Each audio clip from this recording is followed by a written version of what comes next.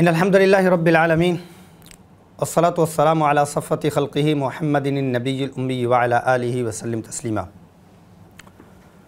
असमा रज़ी अल्लाह का नाम लेते ही एक ख़ास तस्वीर और ख़ास तस्वुर और ख़ास एक कैफियत सामने आ जाती है जिसको हम हया के नाम से ताबीर करते हैं रसोल्ला सल्ला वसम की महब्बतों का मरकज़ हैं।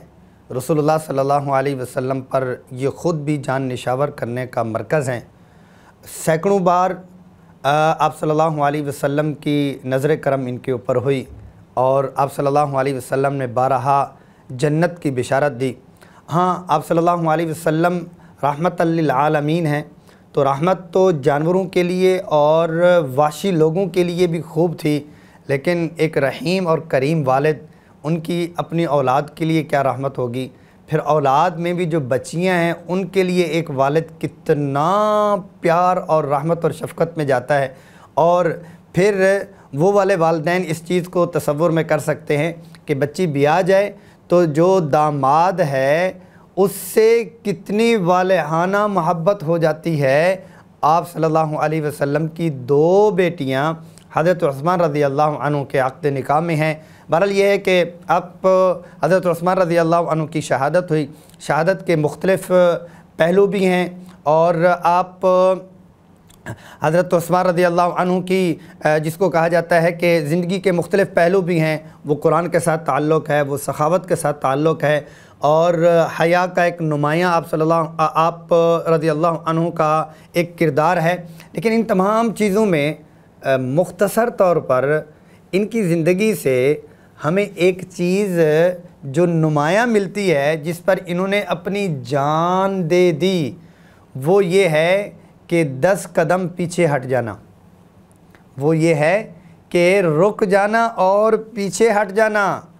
जब साब कराम रिजवान मजमैन और हसन और हुसैन रदी अल्लाह और अली रदी अल्लाह की तरफ़ से ये हुआ कि हम ये कर दें, ये कर दें, ये कर दें।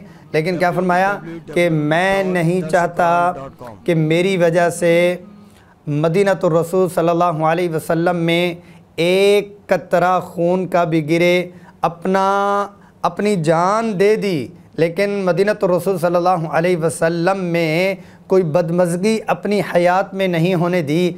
तो हज़रत उस्मान रज़ी अल्लाह की हयात से ये चीज़ मिलती है कि अगर कोई आपको रोक रहा है।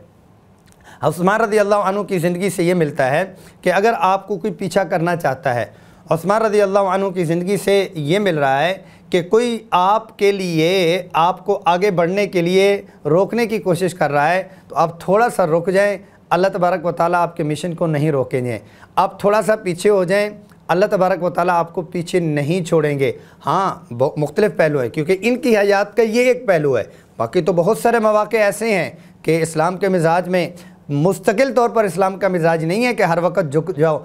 कहाँ झुकना है, किस वक़्त झुकना है, कहाँ रुकना है, किस वक़्त रुकना है, कहाँ पीछे होना है, किस वक़्त पीछे होना है, उसके लिए तफसीलत दरकार है। हर सहाबी जो उनकी रोशनी है, उनकी ज़िंदगी के मुख्तलिफ़ पहलू मिलते हैं तो वहाँ हज़रत अस्मान रदी अल्लाह की हयात तय्यबा से मुझे जो सबक मिला है, वो पीछे हटना है और उससे मैं अगर जिसको कहते हैं कि ज़ाती तजर्बा जो पेश करूँ, उस्मान रदी अल्लाह की हयात तय्यबा से कि हम जिसको कहते हैं कि पीछे हट के सीरा का इदारा अल्लाह तबारक व ताली ने हमसे बनवाया और उसके जो समरात मिले, क्योंकि मौलाना तार जमील साहब, उस्ताद मोहतरम दामत बरकतमालिया की तरफ़ से मुकम्मल दुरुस हुआ करते थे। और जब असमार रज़ील्ला अल्लाह उनकी हयात तय्यबा पढ़ी तो उसी दिन ही उसके ऊपर अमल किया। उसी दिन से समरात ही समरात, जिसको कहते हैं, हमें मिलते गए।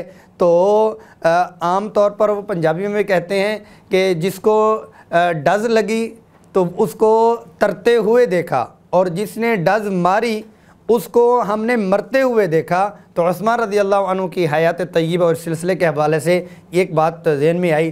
तो मैंने कहा, आपसे भी ये चीज़ शेयर कर लूँ, हम अमल कर लेंगे। तो इन शज़ीज़ अल्लाह तबारक व ताली हमें भी तरक्कीों से माला माल फरमा देंगे।